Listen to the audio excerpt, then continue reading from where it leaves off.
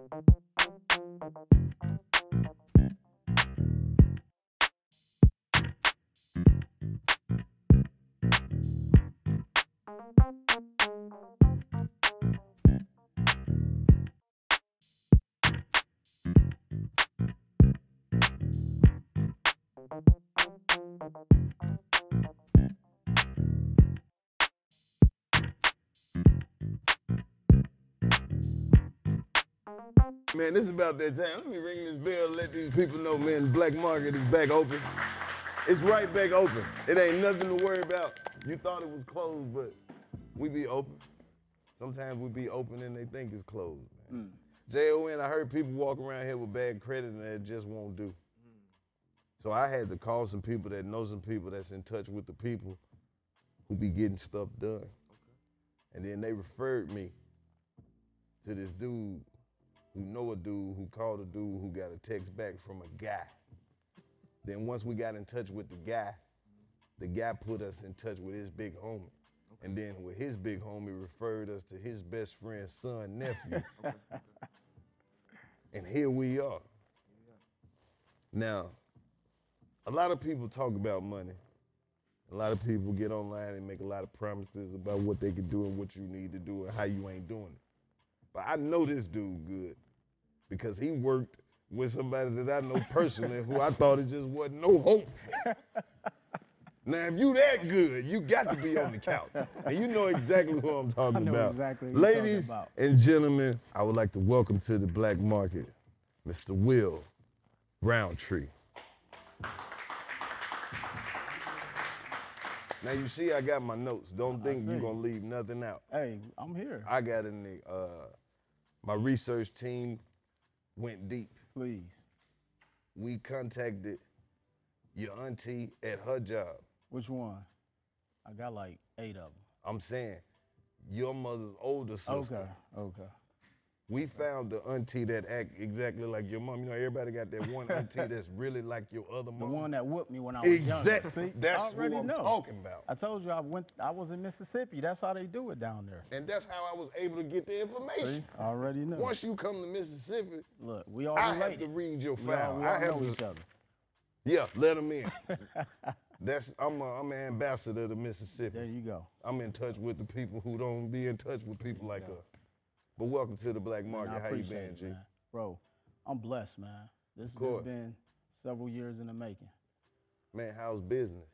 Man, it's going incredible. Especially at times like this. Absolutely. Man, tell us your journey, how you got started, what you do, and what we and what we need to get in touch with you for. Yeah, absolutely. So, Will Roundtree, I'm originally from Milwaukee, Wisconsin. Graduated high school in Kosciuszko, Mississippi. Mississippi. the I told y'all we everywhere. And so, uh, just like everybody else, I was told go to school, get good grades, get a good job. But I found out that journey doesn't work for everybody, Especially if you're black. especially if you're black, man. And so, uh, I attempted all of those things. And when I got to college, I remember being in my economics class, and the teacher was talking about something about economics and how he failed so many times. And so I remember raising my hand, and I said, "So you can't teach me how to be uh, rich?" He said, "No." So I dropped out of school. Yeah, just like that. What if it was just him? It might have been somebody else. Possibly, but apparently somebody was speaking to my my Right. soul. So I, I never went back. And then just from there, just started taking odds and end jobs. Was working at this company for about seven, eight years. I thought I was gonna retire. I was marking the X's off every year I was there. Word. And so after about seven, eight years, that company shut down, and I didn't know what I was going to do with myself. So I actually learned about entrepreneurship in 2003.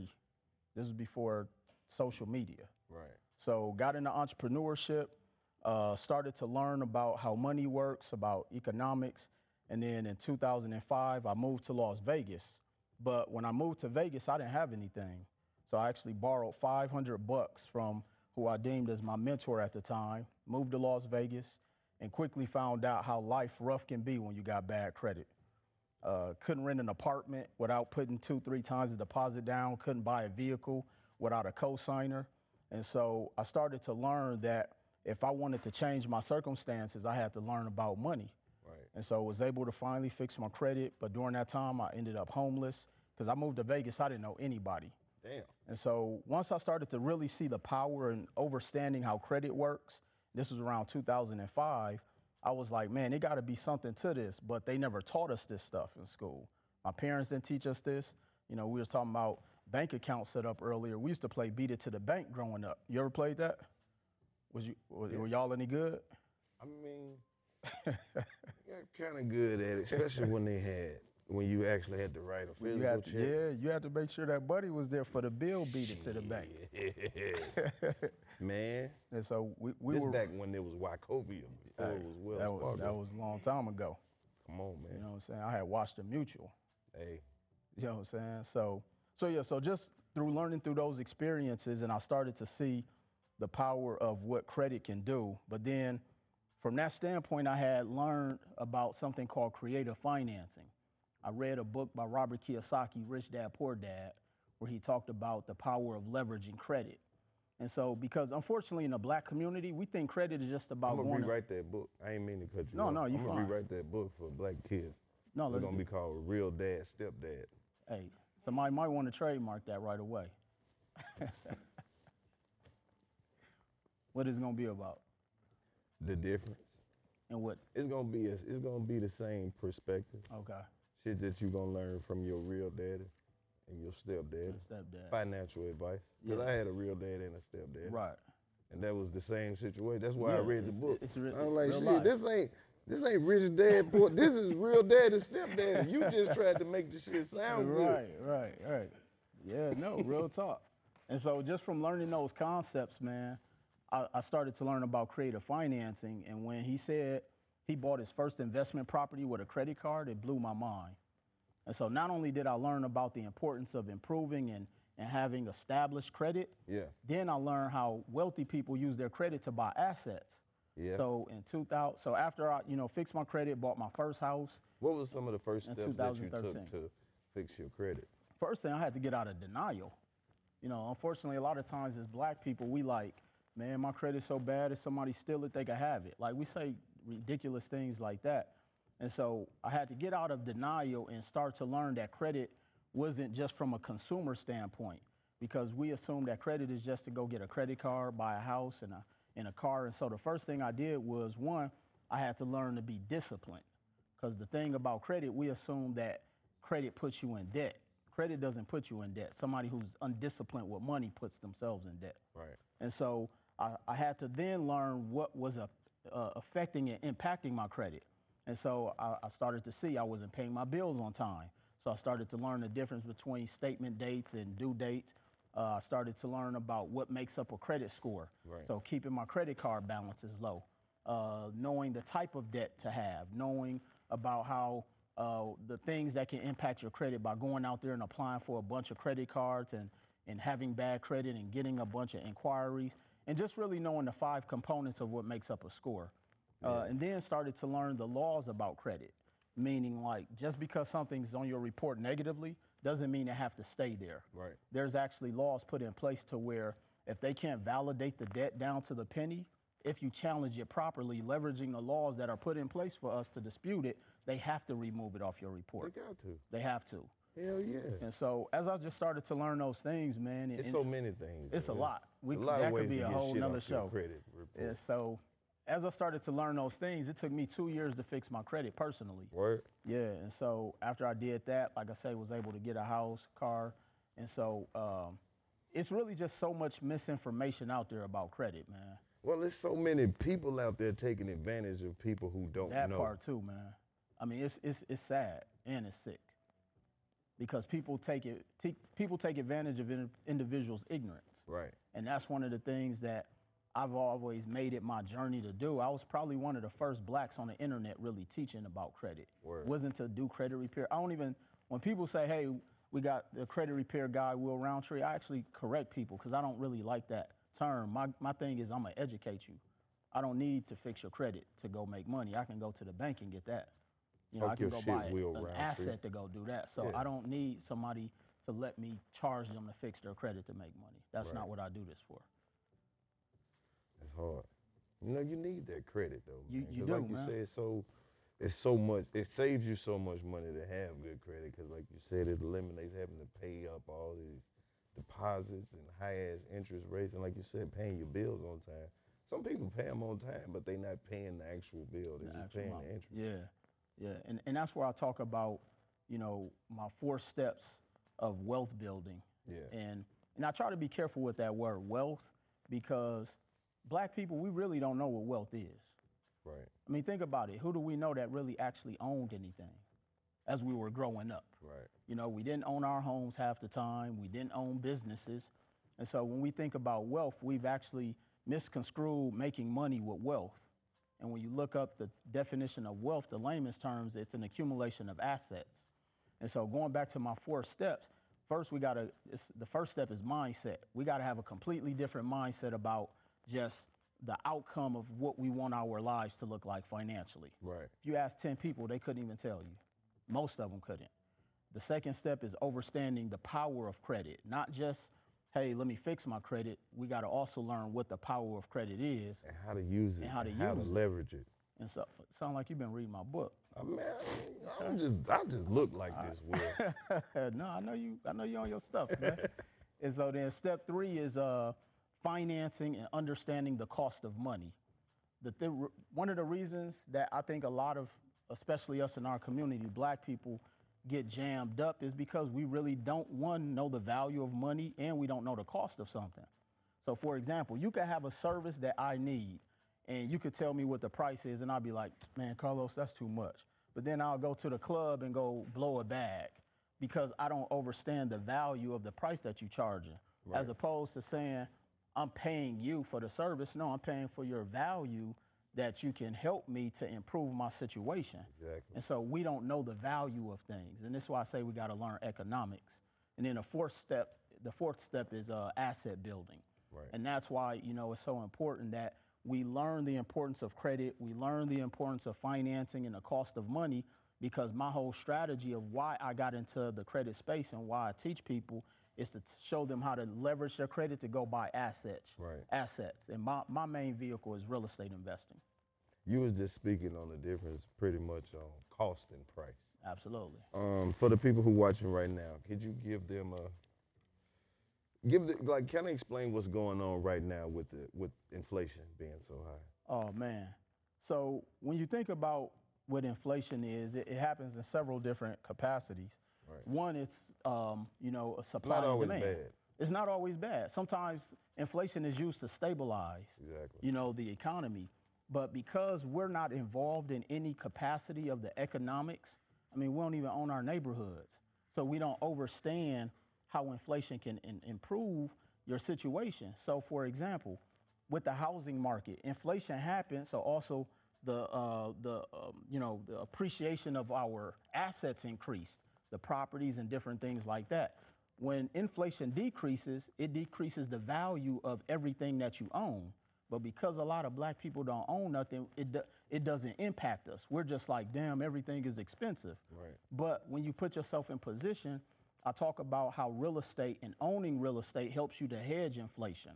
So, for example, they You say, can use the leverage. well, not only the leverage, when you look at, they said that inflation has impacted the average family 3,500 to $5,000 a year. Right. Okay. Now, if you own an investment property that is paying you a monthly rent, because I like buying real estate and holding it so I can get that monthly cash flow. If your net income from that property, and a lot of people don't know the difference between gross and net. So if a company pays you 50,000 a year, that's your gross. What you walk home with, that's your net. So with my net rental income, if you make an average of, you know, let's just say $300 a month after all expenses are paid, that's $3,600 a year. That right there can hedge your inflation, especially with the extra costs in gas, food, etc. So we got to start learning these concepts and strategies to help put us in a better financial position. Absolutely. That's why I've been learning them. Absolutely. You must have been on my page. Man, I've been trying to offset my costs. I want to be able to live absolutely free. That that's how it's supposed to be. Yeah, I try to keep my cost of living extremely, extremely low. Well, then, uh, then you, ha- you you have the assets that pay for all of that. You gotta buy some assets. You have to, man. That's those are things that make you money. A lot of you motherfuckers out here being liabilities and don't even know it. You out here costing people money and don't even know it. How do you determine if someone's an asset or liability in your life then? How do I determine? Yeah, I can give you a perfect ghetto Please do. example. You know, like when when your cousin be like, "Oh, I'm fucked up a little bit, cuz can I just can I just get with you, stay with you till I get on my feet?" See, a liability is the type of motherfucker who will just be laying around, eating all the leftovers and shit, sneaking and stealing little blunt pieces out the ashtray. Them liabilities. Our asset cousin is the cousin who gonna be there for maybe a week, then go get a job, then go get a hustle, then stack up some money, then start going in with you on a bill, then start bringing a little weed to the house. If you bringing something in, you an asset. But if you bring taking shit out, you a whole liability. Yeah, exactly. Drinking all them kids' juice, eating popsicles and shit. Over there eating shit that you ain't even bought. You trying to eat the last Snickers ice cream bar and you ain't even bought one. the nerve of you. That's disrespect. See, it's triggering. Yeah, we've all go we all go through that. Yeah, man. But if you if you're around people who bring shit to your situation, like you said, make it better, whether it be financial, whether it be shit, just the physical body or the presence, that can be an asset also. Absolutely. I call it the four levels of exchange. Yeah. You know, there's four levels of exchange, and this is how I learn how to deal with people. The first level of exchange is criminal, meaning people who are just taking from you. They're leeches. Right. Usually, yeah, they're definitely not only a liability, but they can put you in, in your life in jeopardy. Exactly. You know, the second one is is is you know partial, meaning they're partially exchanging with you. They pretend like they're helping out. They pretend like they add value, but they usually don't. Right. The third one is called fair, which most people are accustomed to. You know, they say fair exchange, not a robbery. But the, the area that I try to play in is abundance. When you find somebody who over delivers, that's when you know that that person is an asset. They add value to you. Exactly. You know what I'm saying? Hey man, let them know your social media and where they can catch up with you and start getting some of this game that you got on the credit. Definitely, man. So you can catch me across all social media platforms at Mr. Will Roundtree, YouTube, Twitter, Instagram, Facebook. Uh, I mean, you can Google me. What's in that box, man? Uh, I brought y'all some tracksuits, man. Word? Absolutely. What color? Man, I got black, red, you know. Man, you know I'm a tracks. I'm at that age in my life where if it don't have two pieces, I don't want it. I'm not about to be shopping at two different stores. I got shit to do. Yeah, yeah. Put that shit together, man. Definitely, man. I, I, I blessed y'all with some I need every color. I'm a tracksuit type Definitely, of I got you. And I'm a full-time CEO. I already know That's that. your company. Absolutely. Tell It's about trademark too. You ain't tell them about it. Man, you know, hey, look. This Will is- this is your promo, Will. CEO. Look, we out here, uh, and, and, and more importantly, a lot of people don't even know what full-time CEO means. I just noticed you got them dog-ass Mississippi State colors. It wasn't even about that. Yeah, was. I just wanted to make sure. I- Let's go, I- bro. I- to give me Ole Miss the, colors, the wickets, you know. But no, uh, full-time CEO is my brand, and it's really about a mentality. A lot of people think a full-time CEO is somebody that works for themselves. Somebody who who is self-employed, really, you bought a job. I'm trying to teach people about being a CEO from the standpoint that the CEO is a visionary. And so when you learn how to build a business and build a company, then you that's that's that's the part of the full-time CEO that I'm really trying to teach people and that I embody. It's a lifestyle. It's not just working for yourself. You know, it's you know getting your health in shape. It's about you know spending time with your family, making some money so that you can you can you can also give back in different ways. And so being a full-time CEO is it's really about a lifestyle. It's not just about working for yourself. You thought this was gonna be easy, didn't you? No. But now I need.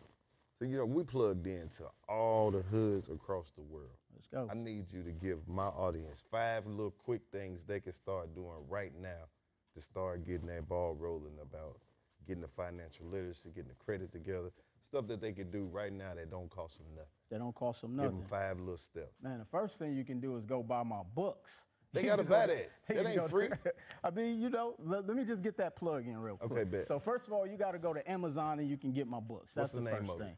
Full time CEO, the shit they don't tell you. All right, I'm about to buy it right now There while you you, tell them the Yeah. rest. So the first Because book. I support. Appreciate that. Full time CEO, The Shit They Don't Tell You, which is a book about entrepreneurship. But I talk about the unglamorized side of entrepreneurship. Uh, second book is Credit is King, which is more like a manual that's going to walk you through step by step. There are sample letters in there. And the thing that I learned too, Karlous, is that a lot of people have a hard time learning something new because they start to dive into something when they don't understand the terminology. All right, So I I'm gonna get all three sure- books. Appreciate that, man. So I tried Credit to make sure that I write it to where people can understand it. And I even put a glossary at the back. So you got credit is king, Credit is king, and then full time CEO. Lord of my land. No, that's not mine. That's not yours. no, sir. I'm not buying that. Then. Yeah, please don't. That's not mine. Hold on, let me see. I gotta make sure I get all my royalties. But but yeah, no, my books and oh, also I have audio I know versions. who that. That's by that's by my my dog. I Yeah. it. So yeah, so the, those are the first two. Uh, but yeah, five steps that I always tell people that uh, could, that doesn't cost them any money is first of all, have a plan. Right. Like as simplistic as that sound, a lot of people don't know what they want to do. So be very clear in what your end goal is. Know what it is that you, the type of result you want. That's the first thing that I would recommend. Number two is is that you got to put together a budget because a lot of the times people are wanting to become an entrepreneur. They want to invest in companies. They want to do this. They want to do real estate, but they're always operating from a deficit. And the little bit of money that they do have, they're they're they're playing with it from a place of desperation. So if me and you go into business together and only got you know five thousand dollars, I'm counting every single thing that you do Right. to ensure I make that five thousand dollars back. And so uh, that's because the rest of my life is in shambles. So a person has to put their plan together and, and, and learn how to budget. So have a plan, then learn how to budget. Number two is learn about business.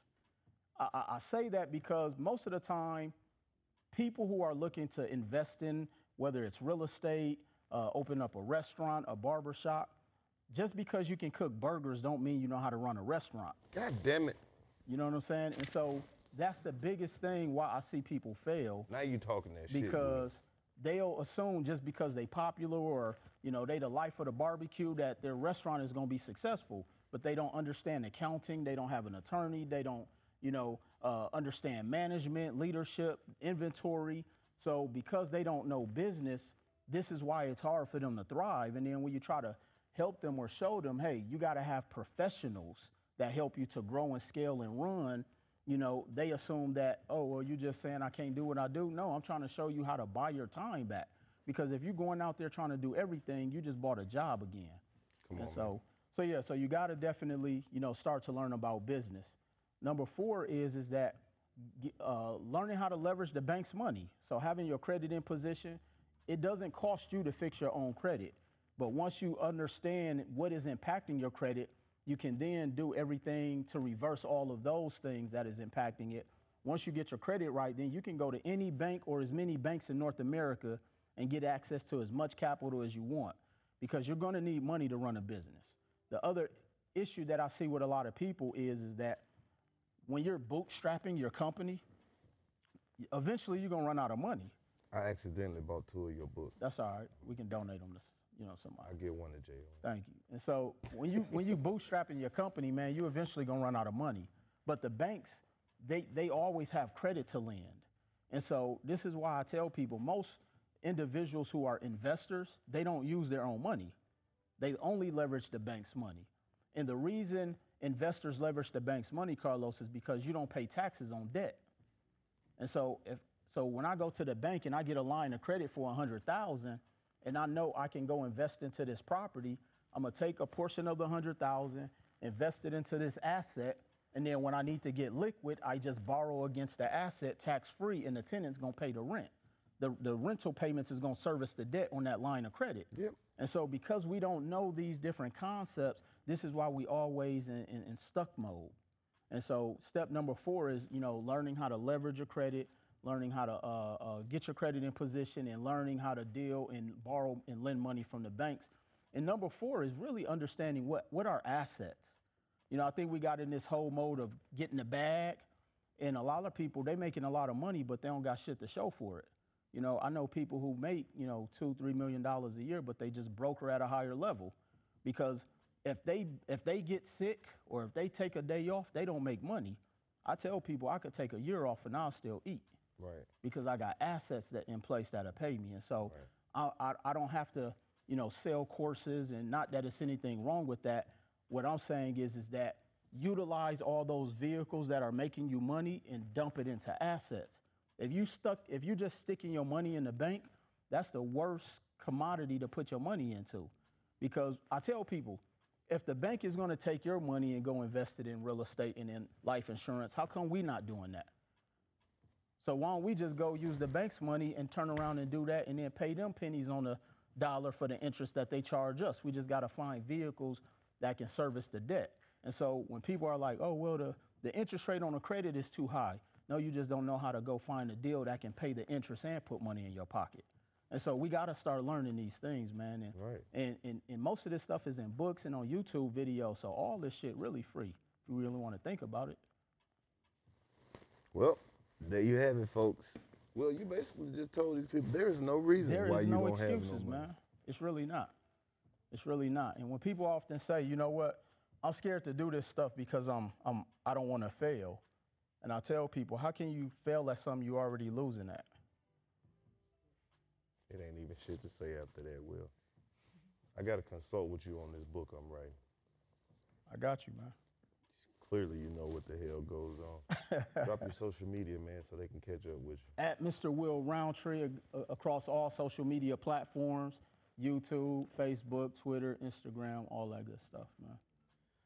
Well, I bought both books. I appreciate that. I got man. two copies. Giving one to JON, so you got to come back and sign it. Oh man, that's anytime, man. And we really appreciate you helping our partner. No, thank you for the um, invite. Putting him back on the path to financial success. Absolutely. The more you help him, the less we got to pay him. So he's a liability, is what you're saying. Exactly. the biggest one on the whole staff, man. Will, I appreciate Man, you stopping absolutely, through bro. here, man. Appreciate that And I want y'all to know, the black market is wide open, baby.